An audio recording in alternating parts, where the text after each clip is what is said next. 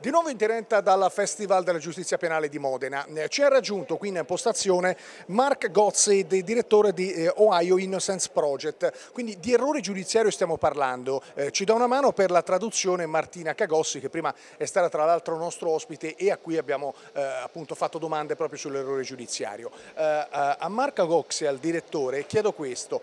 quali sono i numeri in questo momento attualmente, i dati più aggiornati, degli errori giudiziari negli Stati Uniti. Uh, which are the current numbers of wrongful convictions today in the United States? So, so far about 2,400 wrongful convictions have been identified just in the past 25 years. Together those people served over 22,000 years in prison for crimes they didn't commit. But we know that's just the tip of the iceberg. Ad oggi si registrano oltre 2400 casi di errori giudiziari e globally how many years they served? 22,000. 22,000 and hanno, in tutto hanno diciamo, scontato uh, 22.000 uh, anni in prigione nel globale, ma noi sappiamo che questa è solo la punta dell'iceberg. Qual è il sistema di garanzia per riparare negli Stati Uniti all'errore giudiziario? Which are the mechanisms, the tools that you have in the United States to try to uh, make a remedy, uh, to fix these errors? Um, 25 years ago, there were no remedies.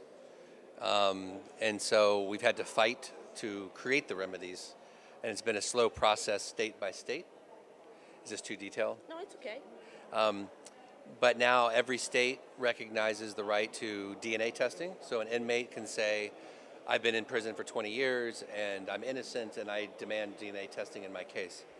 25 eh, anni fa negli Stati Uniti non avevamo rimedi per questa cosa, poi abbiamo intentato una battaglia che è stata molto dura per cercare di far riconoscere questi strumenti e per esempio l'accesso al test del DNA dopo che la condanna diventa definitiva, per cui oggi un detenuto può dire sono in prigione da 20 anni, ritestate o fate per la prima volta il test del DNA.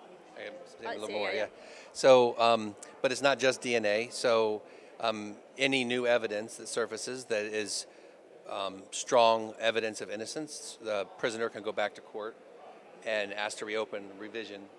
Um, in reality, it's very difficult, so the evidence has to be very, very strong before courts will consider it. Ovviamente non c'è solo il DNA, ci sono dei momenti, dei casi in cui non è neanche disponibile il DNA, quindi ci vogliono però comunque delle forti prove di innocenza per cui noi riusciamo a riportare i casi cor in corte. Ovviamente è molto molto difficile quando ci sono nuove prove che non siano il DNA riuscire a fare questo.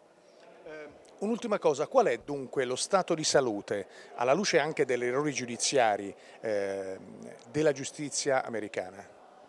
So in light also in light also of wrongful conviction, what, what is the status, the current status of your criminal justice systems? How is doing? Um, there are many problems and flaws in the criminal justice system, and it's very, very slow to change. Um, we're starting to make slow and gradual changes, but it's going to take decades. Eh, ci sono molti problemi eh, in corso che sono difficili da cambiare, ma ci stiamo provando, questo, ci vorranno anche molti anni, però noi stiamo lottando per questo.